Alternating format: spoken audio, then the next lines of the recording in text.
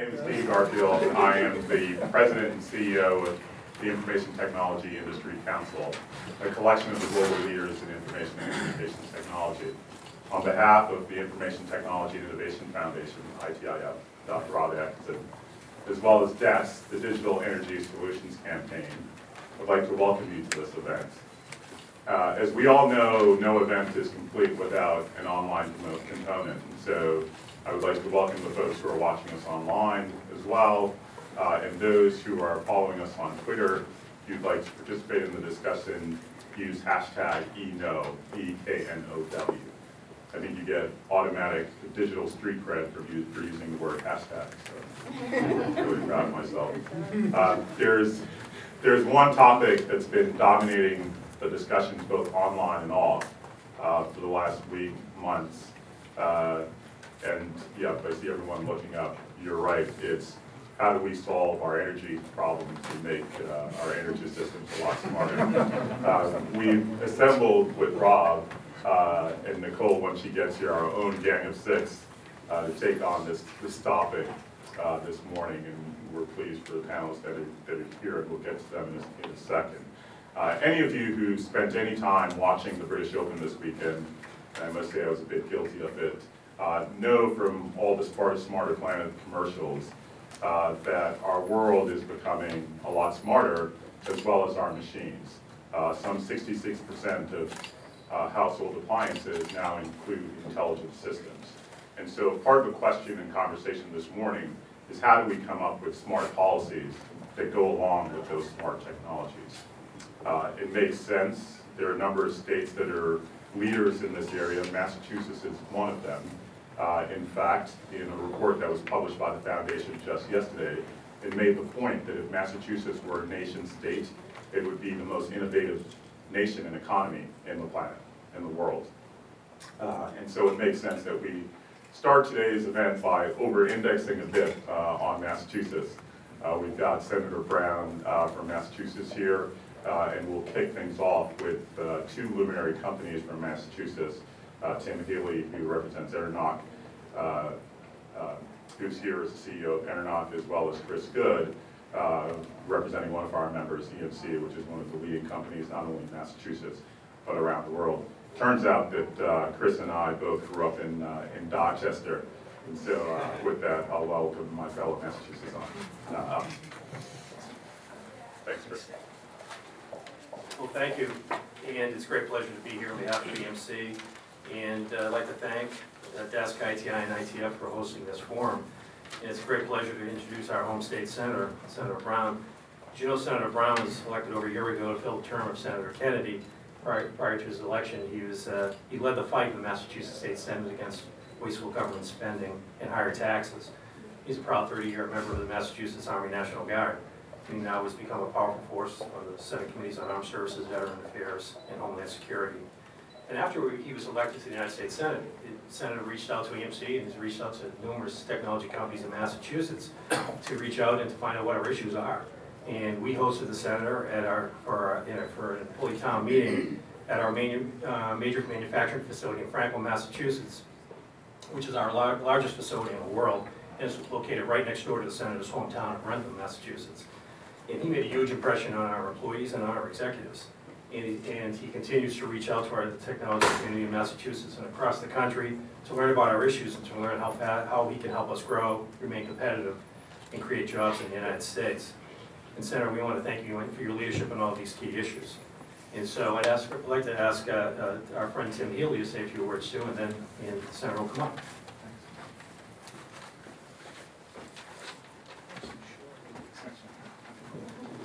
Mine's nine pages. Yeah. I want to uh, also say, say thank you for allowing me to be here today, allowing me to introduce my friend, Senator Scott Brown. Um, but first, I, I want to make sure we thank him for his leadership on the uh, Electric Consumers Right to Know uh, Act bill. Because there's two things that are, I think, are important to understand about the importance of this bill, and I just want to touch on them really quickly.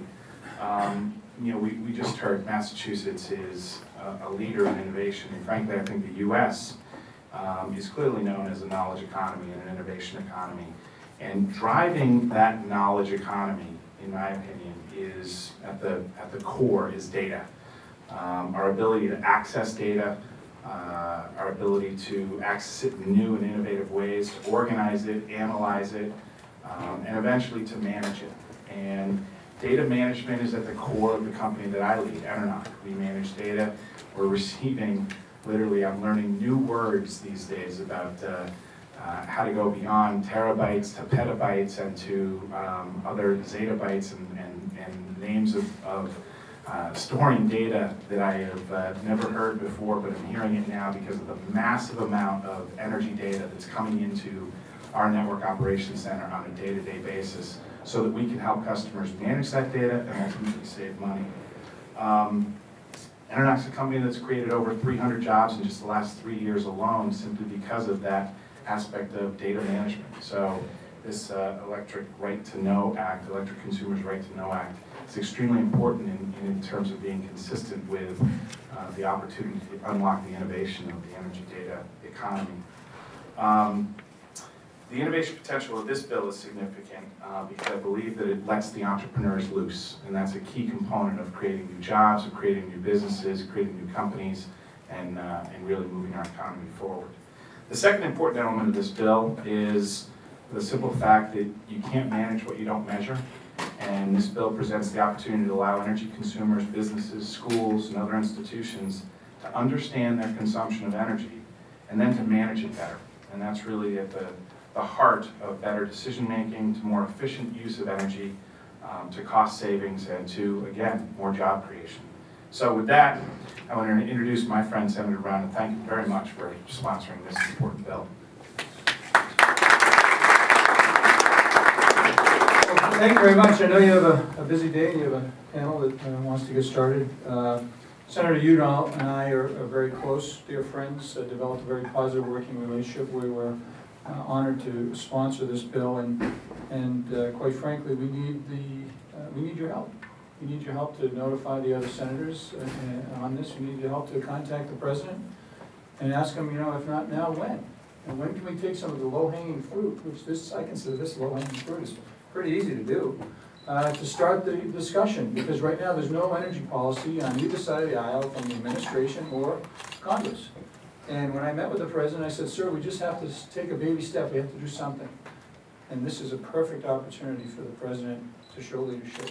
And uh, uh, you all to get involved in letting him and letting the other senators know that this is something you want to happen.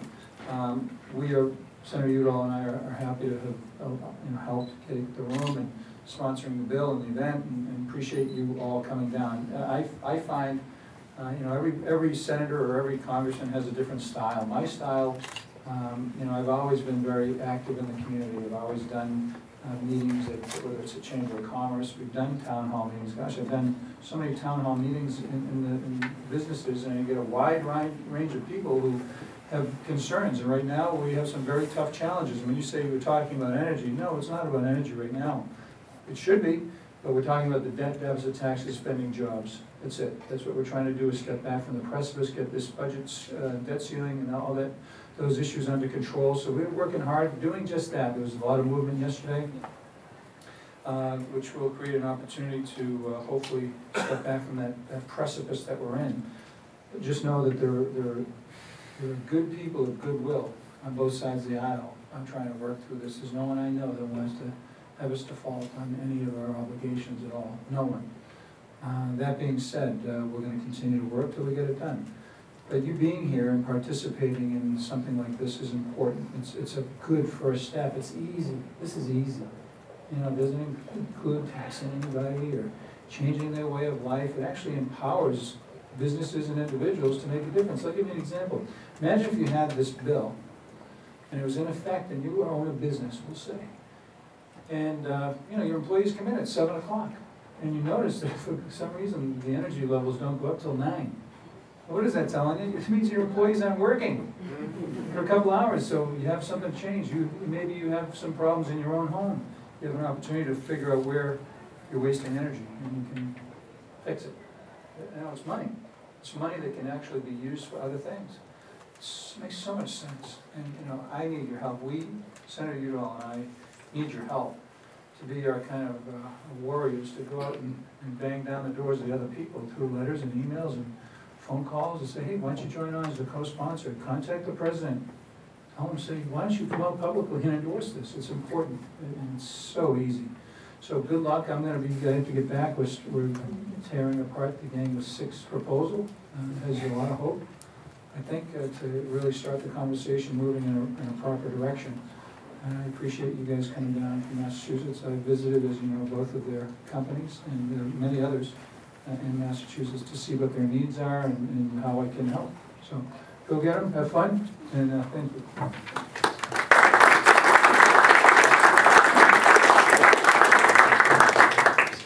Thank you, Senator Brown, uh, Senator Udall, for your leadership on this issue, as well as for your leadership on the deficit. Uh, The, there is no question, I made the joke earlier about uh, the topic of conversation, but this is, is critical to the nation's future. Um, And with leadership like that from, uh, that we have from Senator Brown, I think we're in good hands and we'll get this problem solved. So thank you.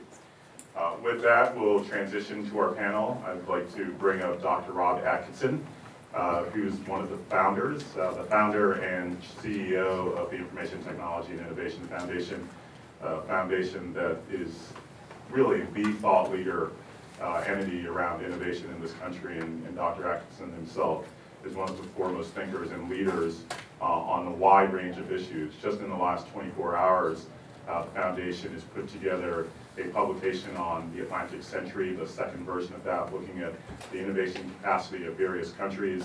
Uh, Doing a second panel yesterday, uh, they looked at tax reform and what kind of tax changes and reform is necessary to get the country on the, on the right track.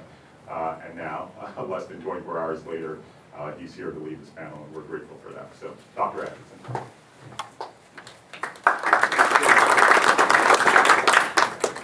So, with the, um, you know, with the collapse of climate change legislation recently, a year ago, uh, I think it really suggests that the way forward on a lot of these important issues around climate change and energy independence uh, is really around a set of small but added together important steps. Uh, So I don't see us getting big, massive legislation to solve this big set of problems.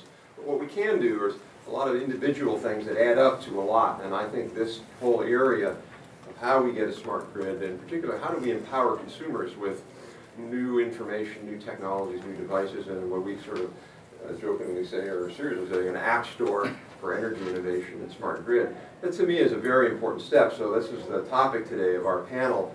And we've got a great, uh, great set of speakers uh, who I will introduce in just a second.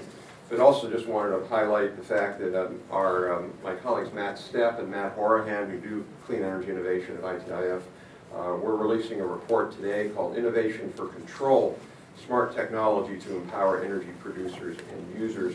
It explains what the issue is, why new technology can do that, and what kinds of policies, including the eKnow Act, can drive us forward on that. So I'm going to just go down the line here uh, and quickly introduce people. Uh, My uh, colleague and friend Nicol Turner-Lee, uh, nice to see you, Nicol. She is the Vice President and Director of Media and Technology Institute at the Joint Center for Political and Economic Studies. Uh, The Media and Technology Institute was established in 2008 to study how broadband, the media industry, and emerging communications technologies can become avenues of advancement for vulnerable groups.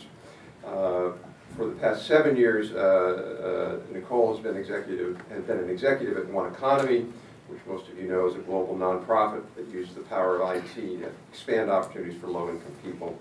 Uh, Before that, she was a founder of the Neighborhood Technology Resource Center, which is a group in Chicago to provide computers and internet access to low-income people, and has a doctorate in sociology from Northwestern.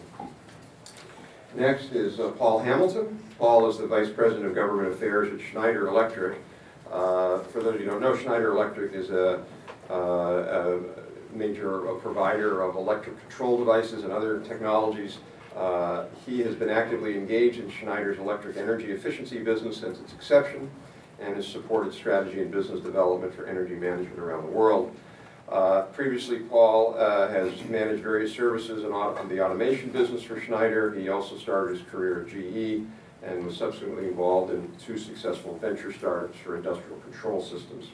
He has a BS uh, uh, in electrical engineering and is a certified energy manager. And uh, next is uh, Lorie Wigle, who is the general manager of eco-technology at Intel Corporation.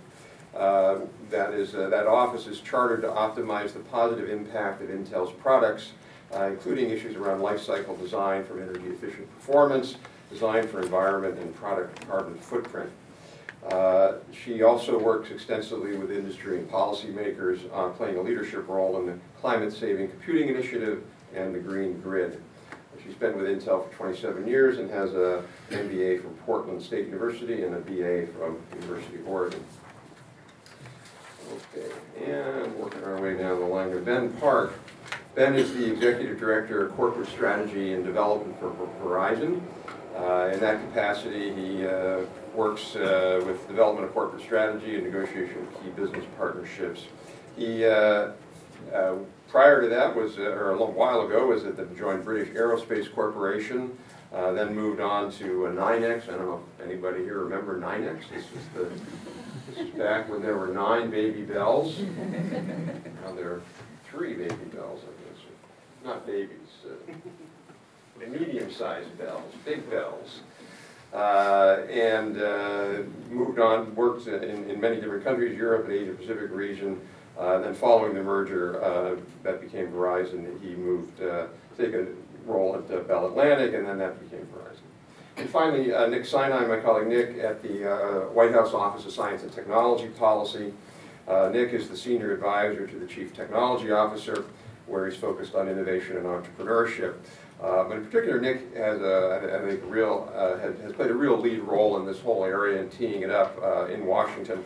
He served previously as the Energy and Environment Director on the FCC uh, National Broadband Plan. And uh, if you remember, if you, if you read the National Purposes chapter, all the great work in that on energy and environment was really done and and led by Nick. Uh, He uh, was, a- he's a former venture capitalist uh, and uh, served with, um, and another Boston connection here too, served as a senior advisor to the Massachusetts Clean Energy Center, uh, played a key role in building clean energy practice at Pol- Polaris Venture Partners, uh, which was is a venture firm uh, in in Boston, uh, and has an MBA from the University of Chicago. So uh, I think we'll just go down the, go down the list, uh, and go down the line this way, starting, starting with Nicol, and I'll ask everybody to do just about five minutes, and then we'll have a discussion. All right, you- what we do last, I- you know, who wants to go first? Uh, you want- Nick, you want to go first? We'll go down that way. Happy to do. All right. Great. Turn that off. Okay. So good morning, everyone, and, and thank you, Rob, for, for having me. Uh, What I thought I would do is just, just spend a couple minutes talking about uh, our policy framework that we, that we rolled out recently. It's online at whitehouse.gov under the OSTP uh, section. Um, And then uh, looking forward to the, to the uh, discussion. So let me give a little bit of context about this policy framework. Uh, It's clear as we uh, Under the Recovery Act, we're investing four point five billion across about hundred and forty projects in smart grid. And these are a variety of, of, of technologies, these are eighteen million, uh, uh, smart meters that we're helping pay for, but it's also a series of sensors and controls within the transmission and distribution grid. It's also, uh, devices in, in homes and buildings, over a million, uh, um, in-home displays and smart thermostats and the like. It became, it became clear uh, that, that we really needed a, a uh, guiding set of, of principles moving forward, uh, especially in a, in a budget-constrained environment where the federal government is not investing a considerable amount in this, and this is, this is really returning back to the states, where the states have uh, much of the jurisdiction, and the states also have traditionally made most of the investment. So we thought it important to have a policy framework that recognized the heterogeneity of the states, the differing resources, regulatory regimes, et cetera, but at the same time put forward some pro-innovation, some pro-consumer, uh, uh, um, uh, pro-investment uh, type of policy framework that, that we could all work from as a nation. And so we had a extensive public process. Just about everyone in the room was uh, a participant in some form or fashion, or the organization was. Uh, We had about 150 uh, stakeholder meetings, uh, three RFIs, a number of, of, of open meetings, and this was across the agencies, and this was done under the auspices of the uh, National Science Technology Council, which is a, a cabinet-level interagency group. And we really, after all of that, came to four pillars of a framework. Uh, And the first one is about enabling cost-effective smart grid, smart grid investments. The second one is about unlocking the potential of innovation across the entire electricity sector. The third is about empowering consumers and enabling them to make informed decision-making, which is what I think we'll talk mostly about. And the fourth is about uh, securing the grid. And so we put forth a series of recommendations uh, under each of these four pillars. Under the, the first one, for example, we talked about incentives and the fact that utilities uh, in, in many states are incented to sell more power, not less. And so uh, when we talk about enabling further cost-effective uh, smart grid investments, one of the things that, that ought to be considered are the incentives for greater energy efficiency in the grid and greater energy efficiency in homes and buildings. Um, Under the second uh, principle about enabling innovation across the electricity sector, uh, we talked about the importance of an open standards process to develop interoperability standards so we can have a common platform for differentiation and value on top of that. And I think that will also tie into uh, some of the conversation that we're going to have today. The, the, the third uh, pillar about, about enabling consumers and empowering consumers was, was, was my favorite, of course. Um, and it, and it really did speak to the importance of, of consumers, all consumers being able to access uh, their own energy information. And that third parties should be able to uh, uh, get access to energy information if, if authorized by, by the consumer. And the state has, has moved forward with, with those types of policies. We also talk about the importance of, of privacy and privacy regimes uh, uh, under the Fair Information Practice Principles, which is a, a framework to think about notice and disclosure and ways to, to, to balance privacy rules uh, with, with innovation. Um, and we also talked about the importance of, of, of consumer education. Uh, uh, it- As we've seen uh, across the country, not all smart grid rollouts have, have, uh, have gone smoothly, and, and educating consumers about what's happening and how this is going to benefit them, I think is, is, is an important piece. Let me just close quickly with uh, the types of innovation, we talked about innovation as a word that uh, is used a lot in Washington, and I think I really like when, when Rob talks about it, but other people in Washington sometimes use it in a kind of fuzzy way or, or in a, in a, in a misleading way. So let me, let me give a few uh, concrete examples of, of companies that um, are delivering real innovation with, with energy information. So the first one is, is Enernoc. Uh, so Tim Healy, you know, ten years ago was an entrepreneur with a, with a business plan, and now he's built a, a real company about helping uh, uh, reduce those critical peak periods, and, and, and employs hundreds of people delivering real economic value. And he gets real-time energy information from, from meters. And uh, the more that he can do that, the more that, that we can roll out demand response across the country.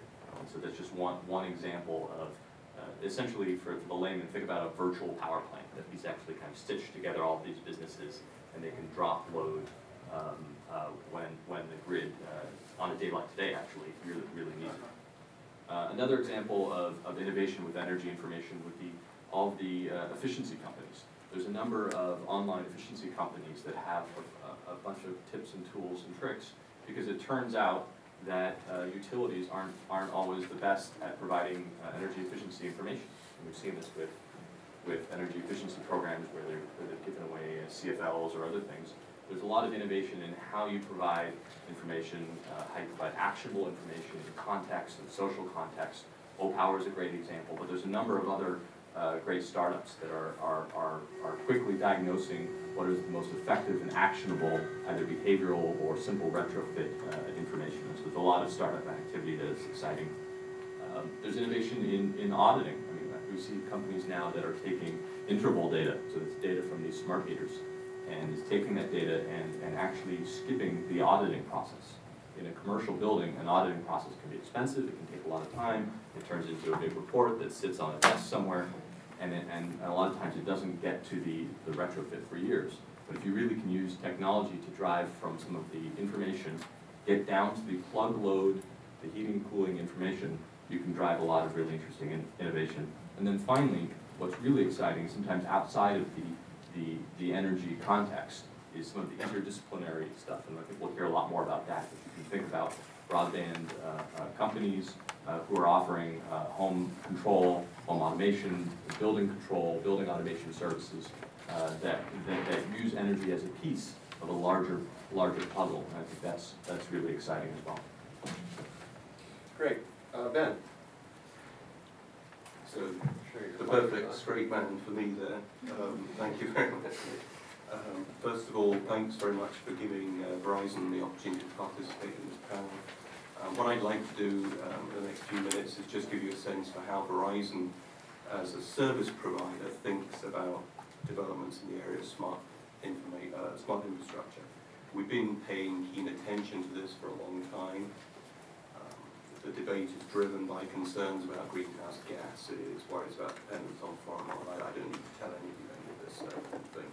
But, but the electric grid, we feel, needs a, a digital transformation and two-way communications in order to improve the efficiency, um, delivery and use of electricity. And I guess this is what people talk about when they talk about the smart grid. Um, We believe at Verizon that we're in a strong position contribute to the solutions needed. Uh, We see opportunities for our services um, driven by this demand for smart grid and smart homes and buildings. Uh, Underlying it, I think, is the uh, development in technologies such as machine- machine-to-machine communications that are essential to all smart systems. Uh, We're already leveraging uh, wireline and wireless networks and know-how to support advanced meter deployments with utilities. We're active in the NIST standards process. uh, But it's, it's the market for smart homes and buildings that we're here to talk about today. Um, A, a lot of the innovation to date, I think, has been focused on the grid. Um, But the dream of a smart home with smart appliances has been around for at least twenty years. Uh, But the, the reality of that, I think, to date is that um, it- it's only really a few homes that have benefited from this. So Bill Gates has a smart home, but I don't yet. Um, Now, the technology, though, the digital technology, I think has finally got to the point where those dreams of a, smart grid and smart homes can become a reality. Um, But as, as Nick was saying, you know, the deployment of smart meters at homes may not automatically translate into progress by businesses and households in towards managing and reducing their energy demand. So, so how do you translate that desire for progress into interest among customers and into the creation of a new market? Um, use of the grid has been a passive part of everyday life forever. You, know, you flip the switch and power's there, and you pay the bill once a month. Um, so that while there's been a drive for people to save energy, it's been relatively slow to gather momentum. Um, you know, just as an aside, when I moved here uh, from England about 14 years ago now, um, I was surprised when I didn't get a break on my electricity bill for running my dishwasher and my washing machine at night. That has been a part of life in the UK going back at least till seven, back to the seventies. Um, and I know that it helped to shape the behaviour of my family. So it, it, it somewhat surprised me, but I know that uh, those things are governed and vary state by state. So uh, it was just an interesting observation. Um, coming back to the problem of how to influence consumer energy today, I, I, I see the problem a little like this, that it's, it's like asking someone to go on a diet, but telling them that uh, they can only get on the scale at the beginning of the month and the end of the month, and we're not going to give you any information on your daily calorie intake. We all know how that one's going to end up, and, and I, I sense that um, that's a little bit like the position with managing energy consumption today. We've been asking people to change their behaviour, but we haven't really given them new tools to help them to do it. Um, so giving people a smart meter will potentially, uh, it'll give them access to a whole lot of new information, but how will they use it? Well, at Verizon, we believe that a, a market-based approach can help. Um, we've created a new platform uh, which will offer a service called home monitoring and control. Um, it'll help our customers to do the things that the service name suggests. Um, and we believe that in the process, the customer will learn about how they use energy in their home. Um, The platform is in the middle of a friendly trial in New Jersey, where I live at the moment. Um, We're using the trial to hone the interface, work out the systems issues, train our support people, that sort of thing. Um, But we hope to be launching it uh, into the market later in the summer. What does the service do? Well, it provides an affordable, easy-to-use combination of devices and online services that let customers control and monitor their home using computer, tablet, uh, a TV and its remote, or a smartphone. Uh, We will provide a range of network devices like thermostats, cameras, security locks, door and window monitors, um, appliance switches. Uh, You can connect them yourself, or if you're as handy as I am, you'll get professionals to do it for you. Um, And then you use your My Verizon dashboard to access and control these devices almost anytime, anywhere. So you can turn your lights on and off remotely, you can monitor and change the temperature of the thermostat, uh, you can lock or unlock doors remotely, and you can receive email and SMS notifications configured by you uh, when, say, your exterior camera, camera picks up uh, motion. You can then review that activity online and decide whether it's important, and that information is also recorded, so it can be provided to the police down the road, uh, if it has to be, God forbid. Um, The service allows you, obviously, to, to monitor your household electric use as well, um, and also that of particular devices which you would choose. And about one more minute. Okay, I'm almost done. Um, and it displays that information in ways that might mean something to you. We're gonna target FIOS and HSI, uh, IP Internet customers in our footprint, um, but it's a broadband agnostic service, so uh, non-Verizon customers could buy it. We're targeting a nine ninety-nine price point, and it's a modular system, so, you know, it can expand beyond the sorts of terms that I've just described into things like health monitoring. Um, So, you know, we believe that all of these innovations are going to spur the development of new services, um, supported by new and different business models. Um, And we view this home monitoring and control service, if you like, as Verizon's opening contribution to the uh, App Store for energy. Great, thank you. All right. So first of all, thank you for inviting Intel to be part of this. It's, uh, it's quite an honor to be here. And I hope that's not my microphone buzzing. Okay. All right. I'm from Oregon, so I'm a little uh, out of my, my normal context, both in terms of temperature and setting. Um, So when Intel first started to look at the smart grid and, and how we could uh, potentially accelerate its adoption and development, uh, we decided early on that strategically the, the best way to um, have that, that acceleration and impact was to focus on the two edges. So uh, on one hand, we've been really um, strongly supportive of the integration of renewable energies because uh, first of all, that's a good thing, but secondly, it forces an impact and, and evolution of the grid technology itself. And then the other thing that we've really focused on is empowering and engaging the consumer of electricity and getting them more involved. On the renewables front, I'm uh, really proud of Intel. For the last three years, we've been number one on the EPA's list of green power purchasers. And this year, in fact, 85% of the electricity that we use in the US will come from renewable energy. So that's a big, um, a big uh, investment or a vote with our pocketbook, um, one could say. From a product development perspective, we focused on, a lot on the other end and looking at how we can provide technology and support for consumers to become much more empowered uh, users of electricity. And a lot of the focus that we have put there has been in home energy management. And um, I have to say, there was a, an individual in Intel in Santa Clara who, when they saw the title of this uh, panel discussion, was you know celebrating and jumping up and down because he had been advocating the idea of an app store for energy uh, for quite some time. And we all thought, well, that's kind of an interesting way of putting it, but you know, let's go drive open standards and all the other sorts of things that are, are more natural for a, a technology company.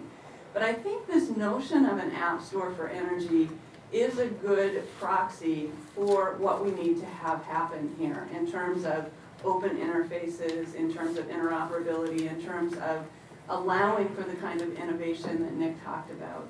If you think about the PC marketplace, you know, you can go to Best Buy, buy a mouse, bring it home, plug it into the USB port in your laptop, and it just works.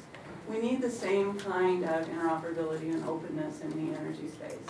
And so that's one of the reasons that Intel thinks we should be very open-minded about how home energy management gets implemented.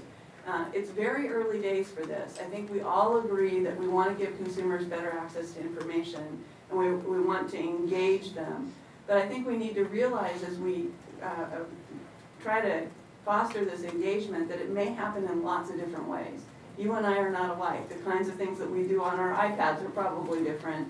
Um, similarly, people are going to interact with their electricity usage information differently. So that might be on a TV, it might be on a smartphone, it might be on your laptop, it might be on a special purpose device. We need to allow for innovation on all of those platforms and for it to take whatever form uh, is most uh, conducive for that particular consumer. You know, it might be just me looking at a web interface on the internet, or it might be somebody else who wants to play an energy consumption competition game using their tablet or, some other device. We need to, again, be open uh, in the approach. And I think uh, this legislation that we're discussing this morning, the Electric Consumer Right to Know or E-Know bill, is an absolutely critical element to make this all possible, to let this, let the information flow, again, to whatever device and application people want to use. Now, the other consumer that Intel has been focused on is outside the home, but uh, in the commercial office setting. Because it turns out, according to, to some studies that have been done in Oregon as part of the Oregon Sustainability Center project, uh, occupants in office buildings control as much as thirty percent of the energy use in a building. So we need to think beyond just the consumer at home to also uh, how we behave at work and how we can engage them there.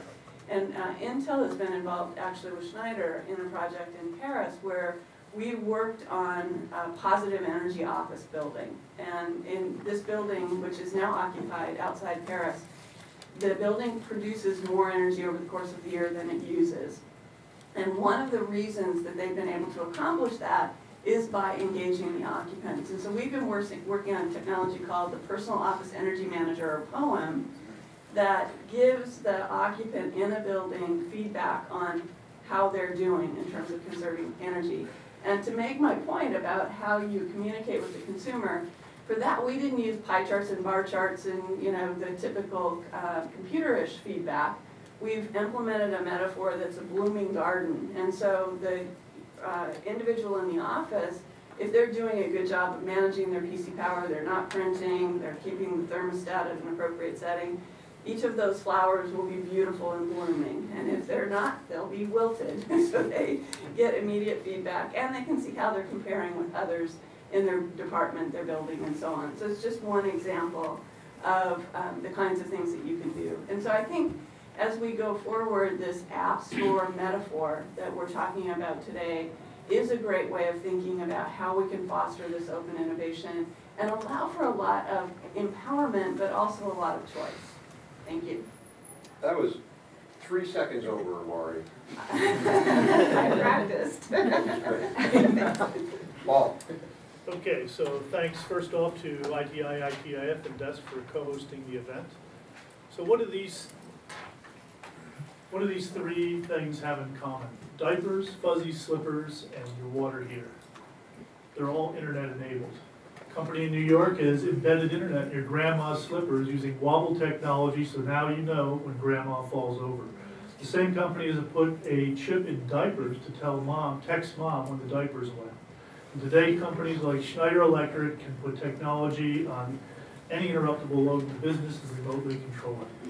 So you can imagine that everything will be internet enabled as we go forward, your appliances, your home, your car, your dog, and even grandma. But connectivity is not enough. We need to turn the data into useful information that provides some motivating benefit to the customer.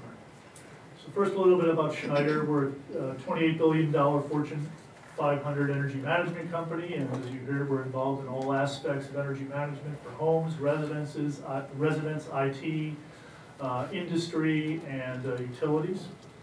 Uh, We're really committed to the innovations that are gonna make a change in the energy, energy use in the world. Why are we here today?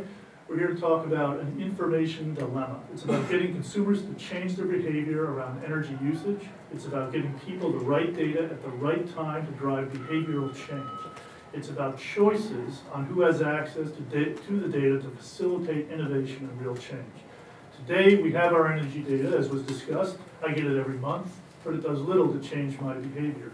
Why? It's not managed in a meaningful way for my everyday life.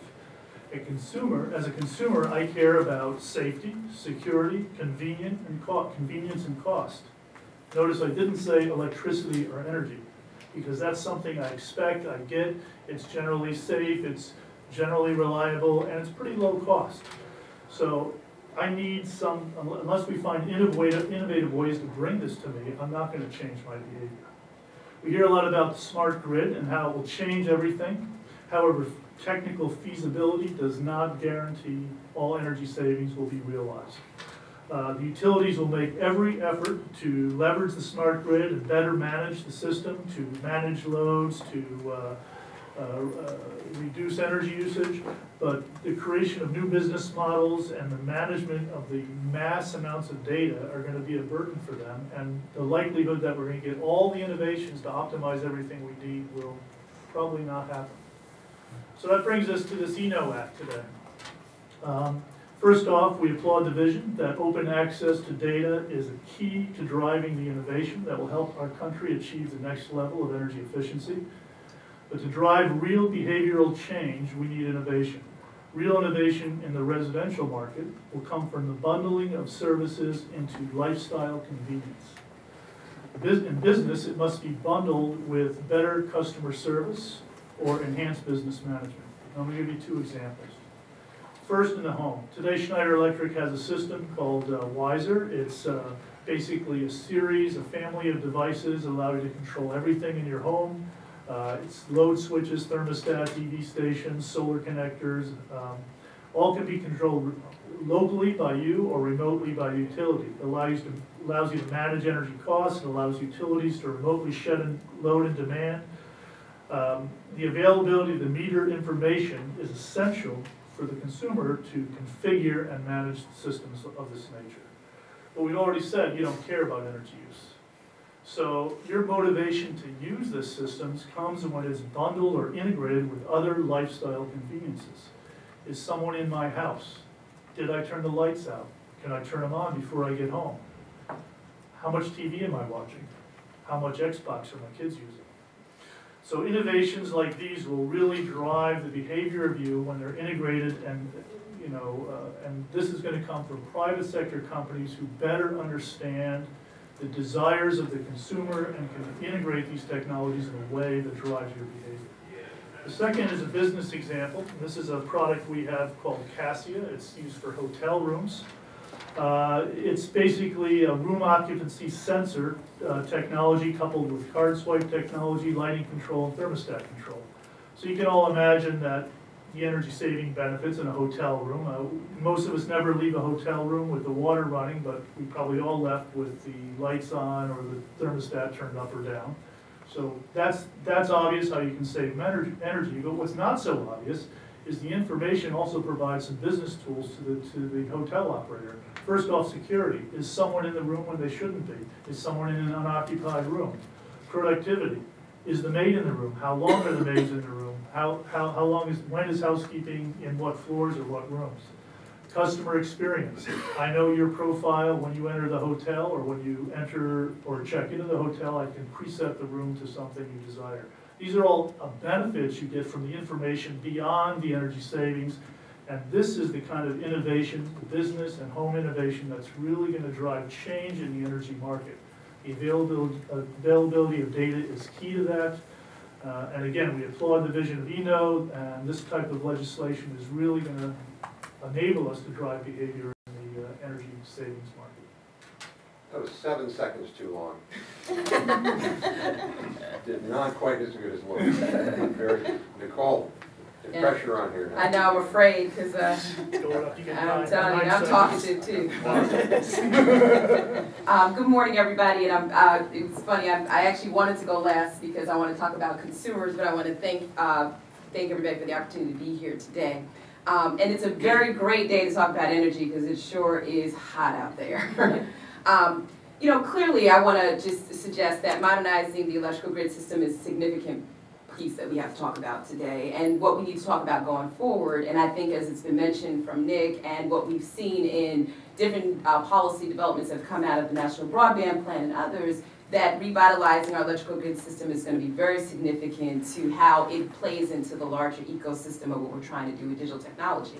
Um, and I think it's really interesting in listening to all the different services and products that are out there that trying to wa- find ways, and I just want to go on what Paul said, to make it a convenience for consumers is also critical to allowing people to integrate this into their daily life. I mean, and I'm trying to think if I left my lights on this morning, I actually left my house. So I'm feeling a little convicted here. But for the most part, I think we would all be in agreement or violent agreement that consumers can benefit from more efficient energy systems and better management of, of their own energy. And what I want to really discuss though today are the consumers that in some way their behaviors aren't going to change at this time, not necessarily because they don't want to benefit from um, managing their energy, but they may not have the access to the tools that will allow them to do such. So I really want to focus on that, and that's the work that we primarily do at the Joint Center, ensuring that technologies as such do not leave people behind. And I think there's some critical um, areas that I think are opportunities, particularly with the title of this event, that are worth exploring. Generally, and I think um, the paper that Rob mentioned is going to be very useful, I think we can all agree that flat rate policy pricing just does not work for the majority of consumers who on a daily basis are trying to figure out how to reallocate their line items to uh, keep their household sustainable. And wasteful energy spending on the flip side doesn't contribute to what we're trying to do nationally because we continue to see uh, shortages and outages. A friend of mine who's in Illinois just experienced a three-day outage um, uh, of her energy, which had unintended consequences of bad, you know, spoiled food and less productivity in her home. So we have to be much more cautious about that. And giving consumers the ability to manage their energy and policies like the eKnow Act, I think, are moving towards a greater transparency for those of us that want to step in the middle of this game and really empower ourselves to do this. However, there are conditions for that type of behavioral change and engagement that I think we should be uh, we should consider. Last year, the Joint Center filed comments around the smart grid issue, particularly focusing on the millions of people that are still underconnected. Those people tend to be um, minority, they tend to be poor, they tend to be less educated, they tend to be seniors. And one of the things that we mentioned in the filing was, you know, how do you look at a, a, a system that allows people to control their energy that may have variable pricing on people with fixed incomes?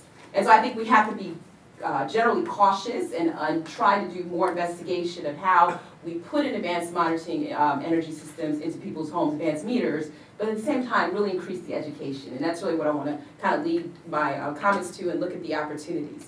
Um, one of the areas that I think is a good note for all of this is, and it's sort of the title of this event in terms of the Energy app, is the use of mobile devices to enable minority consumers and those who are not necessarily accessing um, digital technology in the traditional way through mobile. I mean, the Pew Internet, American Internet Life Project just put out a uh, report saying that across the board, more people are enabling themselves through mobile devices. So the ability to actually uh, transmit energy information through those devices, I think, is a great opportunity, ties into the focus of this event, the Next Energy app, particularly for underserved communities that do not have the means or the access through traditional um, broadband um, utilization um, efforts. So I think looking at that and making that more transparent, and we'd like to see that obviously at the Joint Center, particularly where minority consumers are heavily, heavily reliant on uh, mobile devices to actually access the internet, making sure that those platforms are readily available for this type of um, information exchange, I think will be a plus, and will create the next energy app that's much more inclusive than kind of putting it in a place where only the privileged can actually get that. And that ties into other policy considerations that I think down the line in terms of taxation and other issues that we have to be cautious of. Um, I think the other thing too, I'm trying to beat my time because I can see uh, Rob's clock, um, It's also critical on the side of consumers, and I think Paul sort of hinted at it as well as others, that we pay attention to what I'm gonna consider this energy and digital literacy component. Uh, people cannot manage their energy if they're not aware of the benefits that actually come with that. And so I think researchers like myself continue to look at the digital divide, continue to look at the points of entry where people actually come into the use of broadband. Um, in our study last year, we found, for example, that communities of color had less experience online, which is why digital literacy continues to pose a problem among these groups, or uh, people where English is a second language. We have to find ways to actually um, increase their ability to be much more educated as consumers on energy and digital literacy. And we have to translate that type of learning. And it's really interesting for those of us in the broadband adoption space, we primarily just talk about digital literacy, but the future of our, of our technology is definitely going to be these verticals where we have to do more to educate and make it more transparent to consumers. It's a cumulative skill set that I think if we don't do that, we will have unintended consequences, as I mentioned before, where people will be shocked um, instead of talking about bill shock with cell phones, we'll talk about energy bill shock because they won't understand how managing their energy or how variable cost uh, pricing may affect the, you know, their household in the future, particularly those on seniors. And then for those, um, the other thing on energy and digital literacy, it gives people who are in this bucket who tend to be much more transient, tend to be renters, the ability to talk much more articulately with their landlords and others about energy consumption issues and promote policies that allow those uh, landlords and owners to create a more ecosystem or energy efficient ecosystem within those households. So I think it's a spiral effect that I think, uh, considering the comments that we heard today, and those of you who've heard me talk, we still have to focus in some way on how we bring energy consumption and awareness and marry that with adoption so that it's not something that goes by itself, but we see it as the broad platform for how we actually move our nation to much more efficient systems. So how did I do that? Uh, I, I'd say slightly middle of the road here, fourteen seconds over, so not, thank you.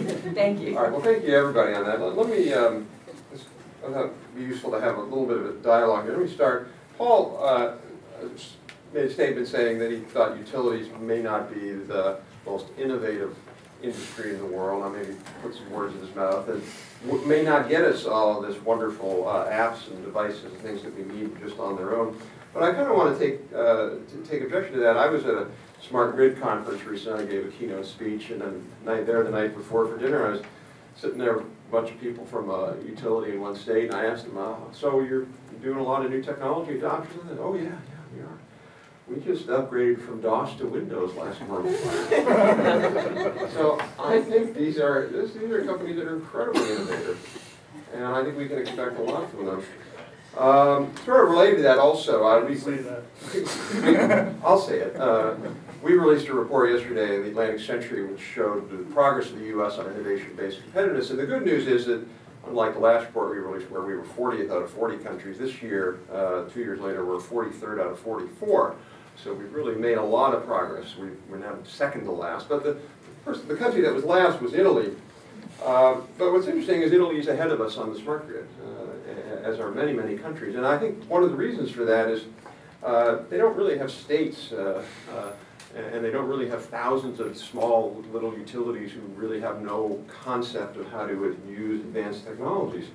Uh, And I think that's a big challenge for our country in adopting a lot of these new innovative internet-based technologies, is you have a set of industries, a set of firms that are not all that sophisticated, uh, and you have a set of state regulators who don't always look at the national interest. I know that's shocking. Uh, So I guess my question would be, to to anybody who wants to jump on it and respond to it, is, to me, eKnow is the right answer because it's basically letting, it's providing a national framework for this interchange of data to create national markets that, that otherwise we wouldn't get because states generally are not gonna do that on their own.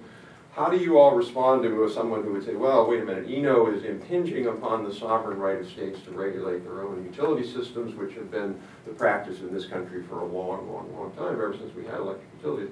Isn't this taking away from state autonomy and, and usurping the role that is, uh, that is appropriately theirs? I can answer my own question, but I, if someone else can, so. Nick, you wanna jump on that? You wanna take that? Not particularly. Okay, Paul, Paul's controversial already. so. Yeah, I've already started, so, um, I think that, um, it, you know, the utilities right, to the utilities right to provide electric, or the, the business model to provide electricity and the states, uh, the states or local uh, regulatory businesses that generate, you know, returns on those assets is, is one thing. That's the right, that's the business model, you're paying for that in your taxes. But the information is a different thing. I mean, the information is something that is a custody transfer at the wall of your house or your business, and that's my information, and the utility has the right and, and needs the right to use that information to enable the smart grid and to make it work. But, and they also need that information to reach into your house and provide you additional services that will reduce energy. At the same time, the overwhelming change that's gonna happen in this industry, where, you're information enabling everything. Uh, the, the amount of data they have to deal with is gonna be massive, and, and they're just gonna be digesting that. The second thing is, they're gonna give you features and functions that make business sense for them. If it doesn't make business sense, and whether it's intentional, or they just don't have time to deal with it, or they don't have the innovation to think of something else, they're not gonna give you access to functionality or data that doesn't drive business return for them. That's business, that's the way it works. So having that information in the home, for me, as a user, or as a consumer, gives me the ability and companies that you see here at the table and in the room to, to create innovations that are gonna further drive energy efficiency, which I would claim is in the best interest of the state and the utility to avoid the continued development of new assets, which in fact we pay for in the event. Well, Now that I've reflected on it, and chosen my words carefully, I Right. will will attempt, attempt an answer here. Um, A number of states are doing interesting and progressive things when it comes to access to energy information. So you think about California, California and Texas, uh, they've been, been going through this for a number of years. California is on the verge of releasing a set of rules related to not only consumer, but also authorized third-party access uh, to energy information. And so I think those are to be cheerleaded, uh, and, and um, uh, NARUC, the National Association of Regulatory Utility Commissioners, is on the verge of passing a resolution, I think it's gonna come out today, that actually says that all consumers deserve access to their energy information uh, for purposes of innovation. And so, the, so the question really is, uh, how do we harmonize, how do we promote national standards, uh, how do we promote a, a national framework? Is it a bottom-up from uh, the states coming together and passing similar harmonized policies? Or is there a need for, for a, a, a national top-down framework? I think that's really uh, the, the question at hand. And the administration has put forth a collaborative approach with, with the PUCs. And so we want to provide greater technical assistance to them. Uh, uh, we, want to provide them the tools, the standards uh, to harmonize these policies. But we, but we recognize uh, that some states move faster than others. And we're going to continue to monitor the situation and, and, and and see what, what unfolds. Brief, brief addition, you know, I think in the, in the, for the companies that have been working on smart grid, last year, twenty ten was really the aha around it's the consumer that really matters here and that is gonna be the, uh, largely the driving force. But I, I think, um, you know, in the spirit of a lot of the comments up here, even with that realization, we haven't really mastered what's gonna work for the consumer. And we're still doing a lot of experiments. And I think having a national policy framework in place for at least the minimum access to the information is going to allow us to do a lot more experimentation and to start to find the right things that appeal to the consumer. But we need some assurance of at least the availability of the information. Yeah, I mean, if you look back at the Digital Signature Act of 2000, I don't know if anybody remembers that, but this was, uh, there was an interesting and similar debate at the time between, there was a realization that we needed a, a national or, you know, at least some kind of common set of standards, set of legal requirements for recognizing digital signatures.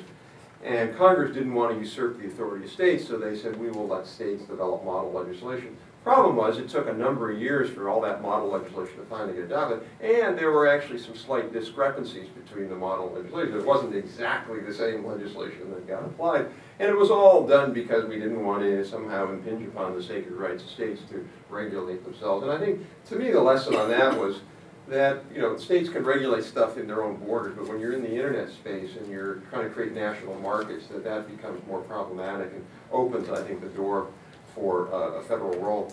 Um, Nicol, let me ask you a question. Uh, uh, Also at this same conference uh, of of utility managers, I was speaking to one utility manager, and I said, oh, so you're gonna do the smart grid? This was actually one that was doing a smart grid. And I said, this is fantastic.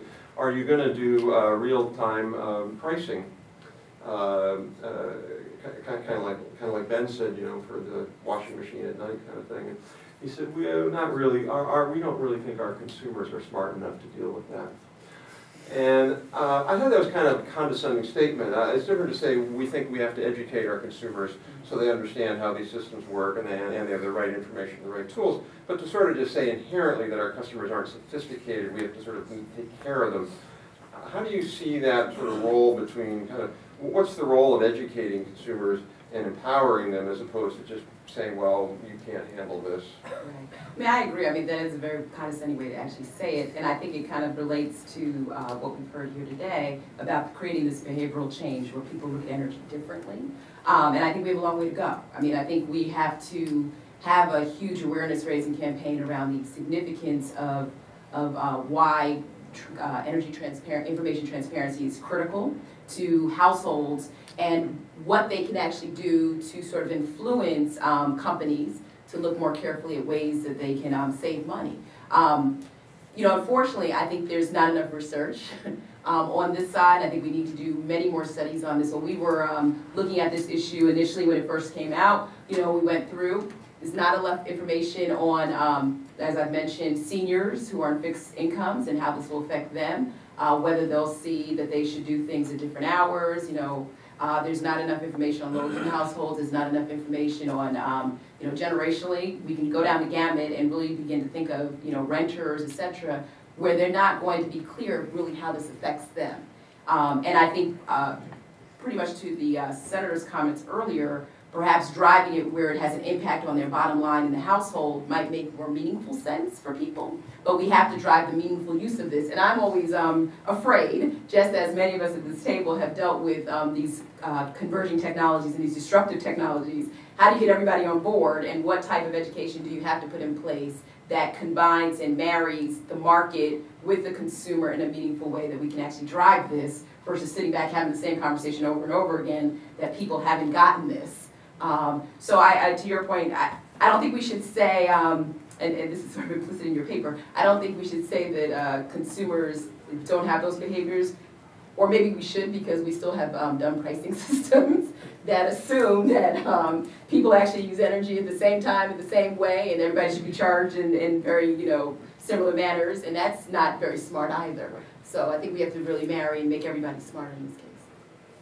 Just a comment, I think to both something both Nicol and and Lorie said here, is that, you know, Lorie's mentioning that certain, certain classes or people don't have access or the knowledge to deal with this. Um, And the way Bill Gates might behave in his energy home and the way I might behave are completely different, and, and the tools I have to do that are different. But that really gets back to the point of, to change somebody's behavior, you have to give them tools that are meaningful to them that are gonna benefit them beyond just the energy. So, and, and I, I think to your point, this is gonna take a lot of experimentation, a lot of pilots, we don't know the answers today. And again, I think the people that are best placed to pilot and experiment with that are the people who are dealing with consumer interests on a day-to-day basis anyway, that involve other things. And whether you talk, whether you go into a low-income home, you know, their interests might be different than our interest here. And, and what's gonna drive their behavior is gonna be completely different. It might, might be, it certainly is probably much more cost-based, but there could be other things that I have no understanding of. Same thing with Bill Gates home, what's driving him is, who the heck knows, but, uh, Plain. Right, right. so, so I, I just think again, that that information is key to the piloting and the experimentation that we're gonna discover that's gonna drive people to change behavior, and it's not gonna be the same for everybody. So, I'm gonna ask you a question, Ben, but if you wanna comment before. I was just going to say, we're learning a lot from the pilot already that we're running of this service. Um, Consumer behaviour varies home to home, so it's it's going to be very interesting. I'm sure the service, as it comes out now, look back in a year's time and it'll probably, there'll be new features, different features. People will learn, but uh, I think Nick made the point earlier about actionable information. and I think that's key to this, that people need to be able to see and understand what's going on in their home before they can really change their behavior. Go ahead, Nick. I think we should also talk about automation, because a lot of times the discussion gets into uh, behavioral energy efficiency, which is really interesting. There's a lot of innovation happening in, in behavioral energy efficiency. But a lot of interesting things are also happening in, in, in automation. And so there's, there's uh, both in, in homes and in buildings, and there is business intelligence and business value in, in, in, in some of that, that automation. But there's also energy efficiency and demand response value to, to that automation. So when we talk about uh, consumers, both industrial, commercial, and, and, and uh, residential customers being able to access their energy information in, in customer-friendly and, and machine-friendly formats, it's more than just uh, behavioral energy efficiency. It's also about this cusp of smarter homes and smarter buildings and all of the, the innovation that is possible there. Can I add on to this? Sure. And I, I mean, I want also want to add smarter, smarter devices, because I think that might also, in some of the experimentation we're talking about, the smarter the device, um, I was uh, speaking to someone not too long ago about this whole idea of the Internet of Things. Um, and the fact that if we actually make the devices, so you, it, it's sort of demand, automation, and innovation, right? Um, if those devices are much more smarter, it takes a little bit of the burden of consumers who may not be as savvy in this space uh, to be more participative. So, you know, Like the Pussy Slipper. I, near my meter, uh, we have, we got a sort of stacked stuff, and I had to move it so the meter reader can read it and all that stuff. And I was looking at the meter the other day, and I'm like, what a stupid device this is. I mean, it's just, it's this electromechanical analog thing with a wheel, and little cogs that go around, you know, like, eh, my God. No, I mean, this thing, uh, this is not a stupid device. So this whole notion, and some guy, poor guy or gal's got to come out and read it, you know, it's like, where, what are we doing? So I guess my question, maybe to Ben, would be, why, you know, why can't we have meters that automatically sync up with my home broadband system? And, it, I mean, to me, it's like the idea that somehow it's their data. I mean, it, it's at my house, it's my data, and I, I don't have a problem with them using the data too. It's, it's co-data, shared data. But how much does the, how much do you, is your business model limited by the inability to easily access that information in, in a consumer's home who wants to subscribe to the Verizon service? So, so the current business model doesn't actually require access to the data from the meter. That said, um, the gateway device that is part of it can accept information from the smart meter. So we're already in dialogue with uh, parts of the industry about working with them to use that data. Um, we, we don't have to have it. Um, the, the technology today allows us to put a uh, sort of reader um, onto the uh, around the power cable that comes into your circuit box, and then that has a, a, a wireless device that speaks to the to the platform. Um, that's the piece that I'm not going to touch. You know, somebody else is going to install that for me. Um, but definitely uh, down the road, customers should have access to their information, and our platform would absolutely um, work with information from smart meters. And it would certainly help, I think, to grow the information that, that customers have access to. I want to open it up now, folks. Uh, about 15 minutes, we'll adjourn at 10:30. If there's comments or questions you have, you want to just raise your hand, identify yourself. Yes, ma'am. Uh, Jenny Mandel with Greenwire. Feel like about a year ago, when, roughly a year ago, when climate change legislation looked like it might happen, there was a lot of talk about, or it seemed like a sort of open secret that power bills were likely to rise. And so smart grid was gonna be a way to control that increase, but it wasn't actually gonna save consumers money. And that there's a feeling that consumers might be in for a nasty shock when they got their smart grid stuff and their bills didn't go down. So now that the framework has changed a lot, it sounds like we're hearing both that bills will be lower and that there are sort of other services that people will value more than that. So I'd just like to get a little bit more clarity on whether you all think that without climate change legislation, the way it looks right now, um, what will happen with consumer bills related to smart grids? Just say that we need to modernize the electric system. I mean, we're talking about a really old system that is, that is analog and electromechanical. And so part of that is, is putting greater intelligence on the system, and part of it is building new transmission lines. So modernizing the electric system is something that we have to do. And so, uh, it, it's a question of, of when, not a question of, of, of if. Now, it- it will offer the opportunity for, for consumers to save money in certain states and certain regions, and, and, and to say that, that everyone's gonna have a, a massive cut on their bill would be disingenuous, and I think would be the wrong way to, uh, manage expectations. Uh, but there are the opportunities for, for all consumers to save on their bills with this information. Uh, and I think that's a, that's a, an important uh, thing to keep in mind. It seems to me you got at least two big savings. One is automated meter reading, eliminate all of that wasteful moving back and forth. And the second is, uh, is uh, peak uh, demand pricing to move off load, off peak, and you end up with savings from having to fire up new generators or add peak capacity. I think there was an experience in Ontario, which we can get you, where they did this, and uh, uh, the experience was that there wasn't a massive decline, but it sort of paid for itself. And not to suggest that utilities don't always pass along every penny of savings they get very quickly to their consumers, but if they save a little on rolling trucks to measure meters, you know, that's not gonna show up immediately on power bills, right? Well I mean, I would say, I think it's, again, as we've all mentioned, that it's very new, and we'll have to really monitor that and pay attention and and invest in some research and pilots that actually help us understand those thresholds. And I think, um, as Nick said, we don't want to say right now that we'll see a huge savings in consumer bills, um, but we'll see a higher efficiency in how we manage energy in this country, which eventually will pass on the savings to consumers, you know, by, you know, limiting other disruptions that I think, um, uh, create unintended consequences for the consumer down the line. So, you know, I think it's just one of those areas that we've- all echoed that we need to know more about. And, um, but it's something we have to do something about pretty urgently if, uh, we're gonna keep going down this path towards innovation. And not all benefits are, are quantified in, in, in uh, customer savings of bills. So greater reliability, which is one of the important benefits of, modernizing the electric system, um, that's going to be, uh, not something that shows up in a bill, but it shows up in the fact, uh, that your power is out less. Or that, or that re- restoration happens quicker because the utility actually knows where the power, uh, outage is rather than driving around trying, trying to find the exact, uh, break.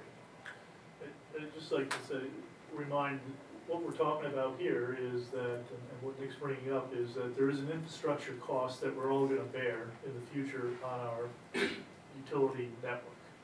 And that's coming, we have to do it. Somewhere with the automation, you'll have more productivity, so there'll be some more costs, some lower costs, where all that balances out, we don't know, but obviously, in the end, the consumer pays for that somehow.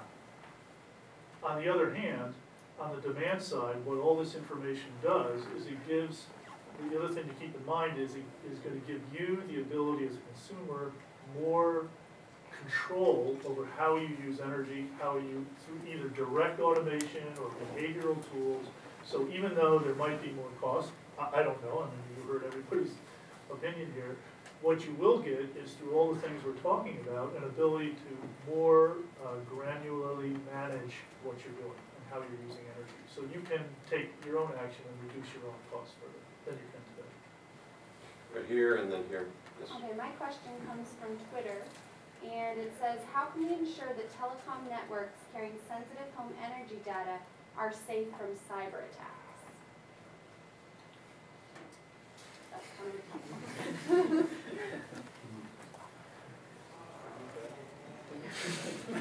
Want me to start?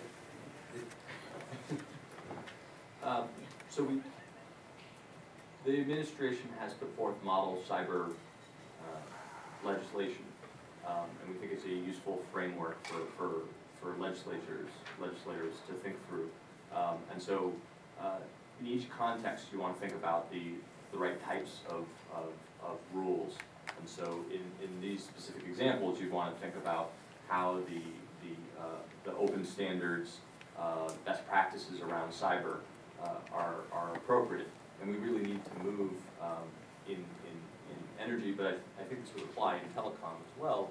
Uh, We really need to move from compliance-based um, uh, checklist, you know, just check the box, because my regulator said I should do X, to a performance and uh, an activity-based type of approach, where you're really thinking about, about uh, uh, security that way, so. Security is obviously something that we take extremely seriously as a business. We have a very large uh, security practice that focuses on um, the business community. Uh, We bought a company called Cybertrust a number of years ago, and that brought a lot of expertise into the company. Uh, we will certainly be uh, making sure that the skills that we have are applied to make sure that this information is, is kept uh, to the people that should have access to it. Yes, sir. Yeah, Dan Delurey with the Demand Response and Smart Grid Coalition, and actually just an extra comment with respect to Jenny's question, that in terms of the investments that Nick talked about, and in particular the smart meter deployments, all of those are subject to state regulation, and they have to be approved with a positive business case before they can go forward. Uh, some of the benefits might come later after the cost, but they have to have that uh, positive business case to go forward. Other comments or questions? Yes, sir. Uh, Bart Carfagno with Bridging Nations. Um, Is just with any kind of energy technology, a big part of, for, for the consumer side is upfront costs. And say for like a solar panel, uh, for households, it's just a huge cost. And I think one of big, one of the biggest benefits of smart grid technology and this information we've been talking about is the fact that it can save money without actually spending anything. So my question is, uh, you were talking about maybe placing meters on the, the power, the power that comes in. What are the, some upfront costs that you foresee uh, from the household, the consumer side, the commercial side to smart grid technologies? So the service that we're rolling out um, is, is focused on the home at, at this point. Um, there is a, a monthly recurring cost which is uh, targeted at nine ninety nine, but obviously before you uh, get there, you've got the equipment in the home. Um, we have designed some packages around um, either home monitoring or uh, home control. Uh, We haven't yet announced the pricing for those, um, but they will be competitive. Uh, Obviously, you don't want to price these at, at such a point that uh, we're going to price ourselves out of the market as the market needs to grow and develop. So uh, I can't yet reveal what those prices will be, but when we launch fairly soon, that information will be made public. But it's, it's going to be the cost for devices like um, smart thermostats, uh, your door and window monitors, they look very like the sorts of things that you would get from the ADTs of this world. Um, cameras, so they're not hugely expensive items. And, and once those are in place, um, one of the benefits of, of the service that we're thinking about is that um, you can add as many devices as you want and your monthly charge will not change. I, I think the, the real cost to the consumer, let's talk uh, residents, because in a commercial, it's, it's- it's somehow the same thing, is really gonna be the, the ability to control all the things in your house, whether it's a a refrigerator, a washing machine, uh, uh, a jacuzzi, uh, the lights. So today, uh, we're kind of still at the leading edge of this market. It's not integrated into the switches you see in the wall here today. Probably at some point in the future it will be with new homes. Uh, Generally, all this stuff will be wireless, um, coming back to some hubs. So the costs of these technologies will be similar to what you know these technologies are today that you get from Best Buy, as an example. Um, The, um, today, like a lot of the switching technology is still probably not, unless it's a large load for the plug load devices, we're still not quite at a cost point that's gonna drive large adoption. So you're talking still in the thirty plus dollar range.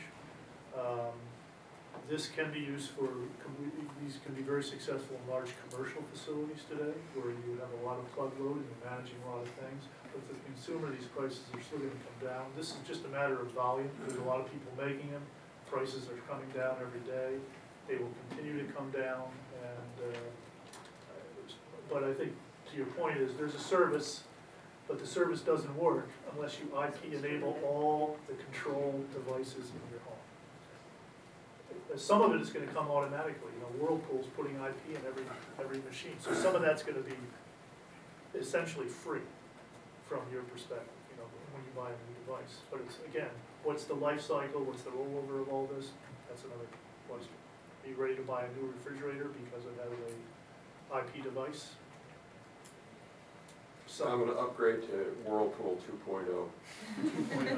2.0. Actually, I wanted to go in order, because I saw Nick and then, and then. I have, I have two internet-enabled devices on me, and I bet most of you have that, uh, or maybe even more if you're carrying iPads or, or other, other devices.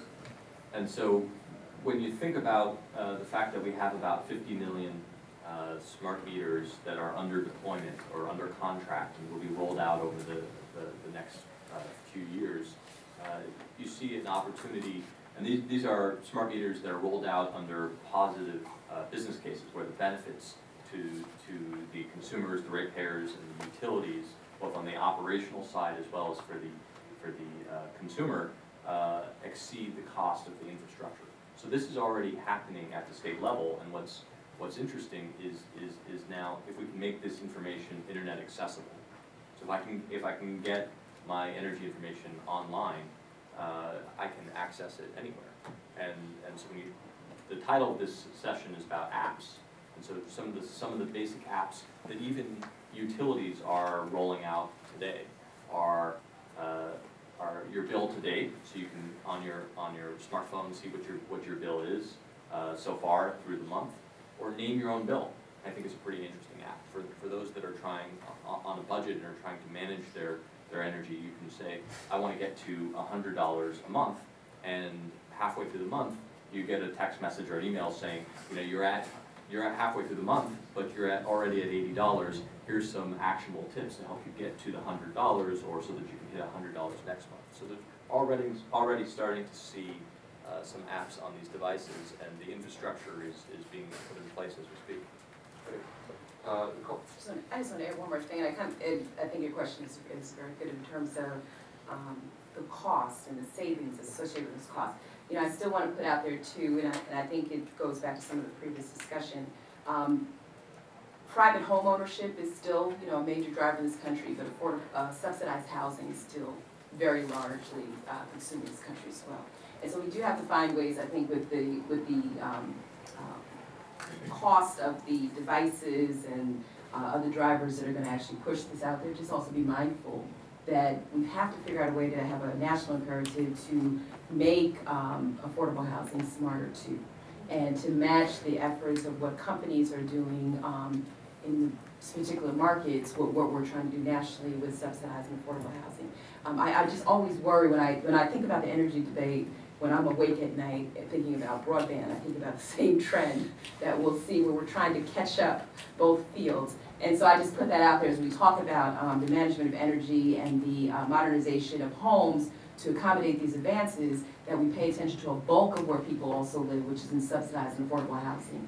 And we come up with some national standards to ensure that uh, either government in some way procures some of these devices and installs those and looks at the next generation of housing for uh, subsidized communities, or we find ways to create better public-private partnerships uh, where we modernize, modernize housing right now. Because that's one of the things that we put in our comments is we're just uh, still cautious about the millions of Americans that are, have no control over any of these systems because they are tenants and not owners in, in many of these cases. And they just can't put a solar panel. So, let me ask, let me ask, we got one more question, I want to ask Nick this. Is, uh, it seems to me sort of a logical no-brainer, but maybe there's problems I don't see there to build on the whole thing, that every unit of publicly supported housing, whether through the tax credit or direct uh, subsidies through HUD, would require smart metering uh, on, on new builds. Do you know if that is the case? I don't, I don't know if that's the case. I, I do know that, that HUD uh, spends a considerable amount of I think the number is on the order of six billion dollars a year on energy through to housing agencies, to subsidize tenants, to subsidize uh, uh, landlords on behalf of tenants and so forth. So there's a considerable amount of energy spend in, in HUD, and uh, they are starting to think about uh, smart technologies. um, And they've- they've, they've, run some pilots, and so they're starting to, to think about this. And, and I think policies that encourage greater uh, controls and, and, and empowerment of, of uh, these, of these populations is really important. Great. So last question. I'm Rick, I'm from GSA. I do a lot of work with standards organizations, and of course, not all standards are the same. right? Some standards are actually used to create barriers to entry in the marketplace. right? I heard the term open standard used. So I have a couple of questions. First is, how do you define an open standard? Right? And is there a requirement under the eKnow Act to use open standards? And then a follow-up economic question that I think is interesting. As we've seen app stores start to evolve over the last three to five years, right, there's an economics around app stores, right? What percentage of your app store might you imagine would be the result of social production or open source development, right? What percentage of this app store might come from small business? And then what percentage might be medium and large business? Okay, so we got, to we only really only have about a minute left, so uh, why don't we, I- I'd say the answer to the last question is yes.